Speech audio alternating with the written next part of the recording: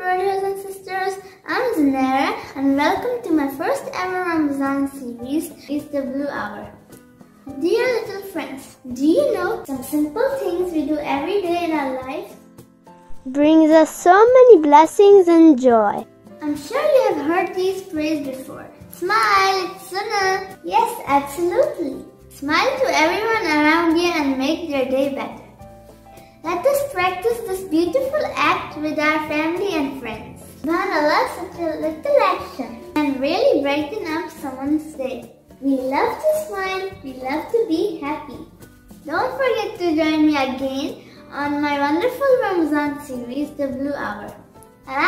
Bye!